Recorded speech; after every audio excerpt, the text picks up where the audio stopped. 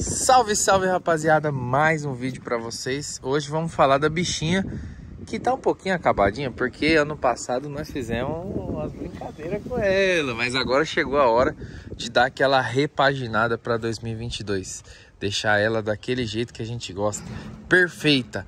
Então, vamos levar lá pro Ítalo. Vai para lá, Ítalo?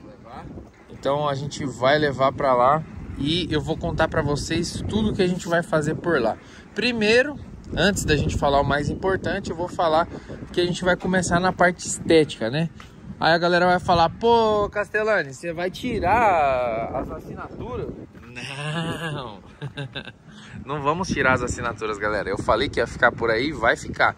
A gente vai fazer o quê? Acertar esses envelopamentos errados, acertar para-choque, acertar encaixamento de grade, ó, acabamento de grade que tá tudo desmontando.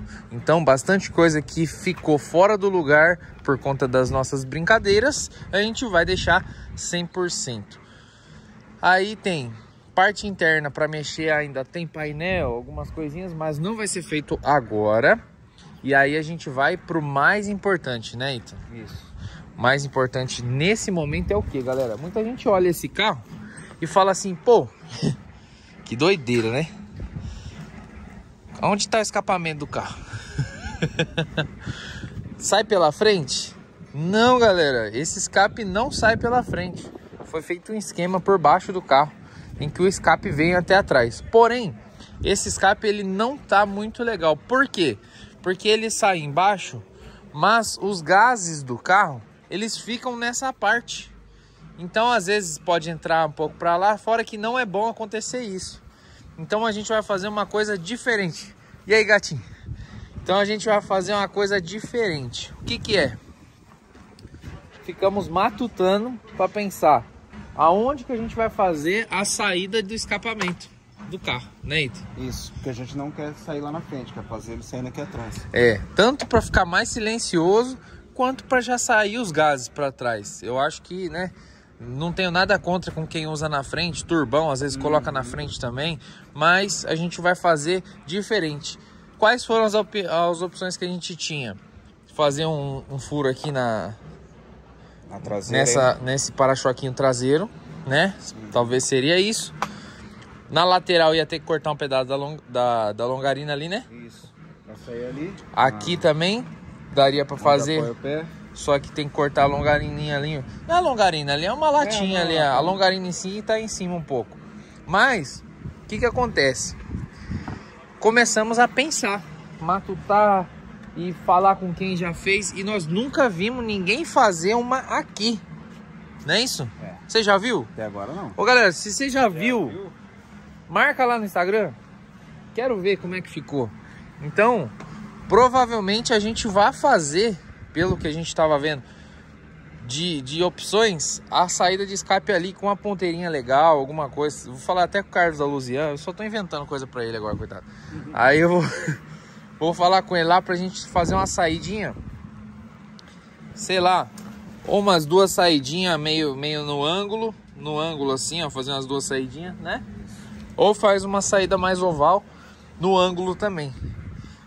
Vamos ver o que, que a gente apronta para ficar um acabamento também de acordo e resolver os problemas, né? Porque sair por ali não dá mais, você é louco. Você pega uma viagem, aí fica todos os gases embaixo do carro, né? Não tem como. Aí a gente vai fazer. Ítalo, o que, que vai ser mais difícil nessa parte aí? Erguer o carro lá no elevador, lá na oficina. É, colocar no elevador já vai ser. Mas depois que erguer ele, você já viu o escape saindo aqui, ó, da Saveiro? Nessa altura? Já pensou? Diferente, né? Corre o risco de não ficar bom, mas nós vai tentar. Não tem problema. É, porque o problema para passar ele para trás é o eixo, né? Ainda mais que esse eixo negativo, né? Exatamente. Aí, aqui, galera, não tá tudo baixo, né, então? É, ela ainda é negativa. Ela ainda é negativa. Só que aí, o que, que a gente faz? Se a gente fosse passar ele aqui para trás, a gente ia ter que ver um esquema por cima da caçamba. E eu não queria cortar a caçamba, entendeu? Não queria cortar a caçamba. Então a gente vai provavelmente fazer algo ali. Você já pensou o silencioso qual que você vai usar, não? Então, eu tava pensando naquele silencioso da Kombi. Uhum. Aí a gente só mudava a ponteira dele, né? Ou se o Luzian Fizer um Não, outro esquema é. de, de ponteira também. né? É que eu não quero. Um Esse silencioso. carro eu quero silencioso, entendeu? E a luzinha a gente usa pra berrar, né, meu amigo? Ali. Vou mostrar da, da, da BM aqui, ó. A luzinha a gente usa pra berrar, bebê. E berra, viu? Mas. Você acha que o da Kombi, então? Eu acho que dá Kombi, né? Tá. É, porque tem uma questão de tamanho. Por que, que ele fala da Kombi, galera? O da Kombi ele é. Ele entra e sai pelo mesmo lado. Então de repente você faz assim, fica. Você faz a, a vinda. É, não sei se o da Kombi não, hein? Mas a gente acha um silencioso. O da Kombi seria se fosse lá na frente ia ficar bom. Porque ele entra e sai pelo mesmo lado. Uhum. Quem já viu o escape da Kombi sabe o que eu tô falando.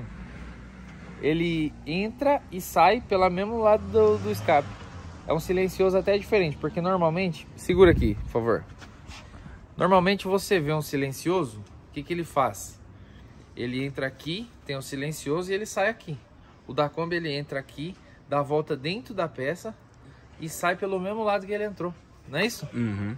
Então essa é a diferença do da Kombi. E para usar lá na frente ele fica muito bom, porque se acopla ele em algum lugar, ele entra e sai no mesmo lugar ali e fica silenciosinho o carro. Vamos analisar. cansado de jogar aqui, mas aqui acho que não vai ficar bom. É, e sai no pneu aí, né? no pneu não vai, É. não vai dar bom, né?